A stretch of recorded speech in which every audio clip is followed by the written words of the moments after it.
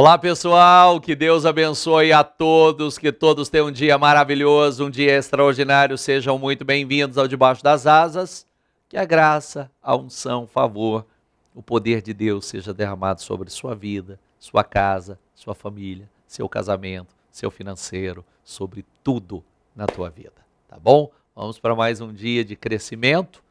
Amós 3,3 diz assim: Andarão dois juntos se não estiverem de acordo? União de pensamentos, união de espírito. Pode? Então, como é que nós podemos andar com Deus se não pensarmos, não estivermos de acordo com os pensamentos de Deus, as ideias de Deus, a visão de Deus, a direção de Deus? A mesma coisa acontece com pessoas se não estiverem de acordo, num só espírito, numa só visão, como é que pode andar juntos? Alinhamento de visão, de espírito. Porque se caírem, um levanta o seu companheiro, mas se não estiver de acordo, como é que levanta? Mas ai do que estiver só, pois caindo não haverá quem o levante. Também se dois dormirem juntos, eles se aquecerão. Mas se for um sozinho, como se aquecerá? Então, uma direção bacana aqui para nós. União, unidade.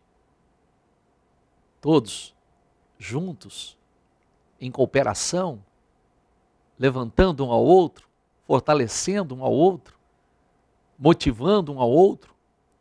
E mais, ó, se alguém quiser dominar um deles, os dois poderão resistir.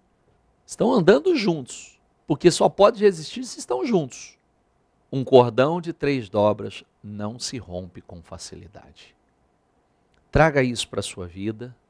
Tem que andar com Deus para que Deus possa defendê-lo. Palavras de ontem. A diferença daqueles que andaram com Deus. Traga isso para o seu casamento, para o seu relacionamento. Traga isso.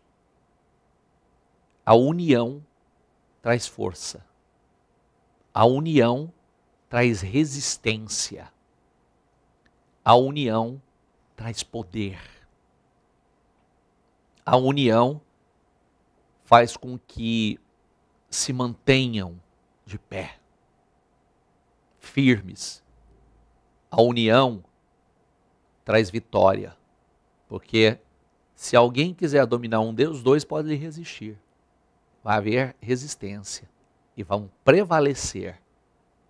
Então, traga isso para a sua vida, traga isso para o seu relacionamento, traga isso como é, um direcionamento importante para tudo, aonde a união há força, aonde a união é a convergência de pensamentos, de força, de objetivo, aonde queremos chegar, estamos indo juntos para o mesmo lugar, para a mesma direção, estamos indo juntos para esse lugar abençoado, vitorioso, de honra. É para lá que nós estamos indo, estamos indo juntos, porque andarão dois juntos se não estiver de acordo, se não estiver na mesma visão se não tiver no mesmo propósito? Inclusive, isso responde o seguinte, né? Ah, eu devo me unir a uma pessoa que não tem a mesma, o mesmo propósito que eu? Não. Eu devo fazer sociedade com uma pessoa que não tem o mesmo propósito que eu? Não. Porque ele não vai para o mesmo lugar. Ele não está de acordo com o seu pensamento. Ele não está de acordo com a sua visão. Entendeu? Eu devo me casar? Não. Eu devo fazer sociedade com uma pessoa que não está na mesma? Não. Não vai dar certo. Não vai funcionar. Por quê? Porque não estão de acordo, não há unidade de espírito, não há união de propósitos, não há a mesma visão, não há o mesmo objetivo, não tem o mesmo ideal. Então não vai dar certo. Traga isso para a sua vida e com certeza, se você colocar em prática, tudo vai eu falei de duas coisas, misturei duas coisas aqui, né? O poder da união e o que você não deve fazer com quem você não deve se unir. se não estiver com essa, essa visão, essa união de espírito de propósito. Amém?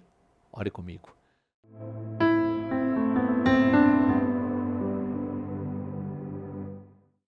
Ó meu santo e poderoso Deus, abençoe todas as pessoas que oram comigo. Fortalece a cada uma. Fala melhor às mentes e aos corações. Que essas poucas palavras traga revelações importantes a cada um. Porque quantas pessoas ignoram e acabam pagando um preço alto por ignorar palavras tão sábias, tão poderosas, extraídas das Escrituras. Abençoe lares, famílias, abençoe trabalho, a obra das mãos, abençoe a vida de cada um. É o que eu peço e desde já lhe agradeço. Amém, amém, amém. Graças a Deus. Diga eu creio, recebo e tomo posse. Que Deus te abençoe, forte abraço e até a próxima.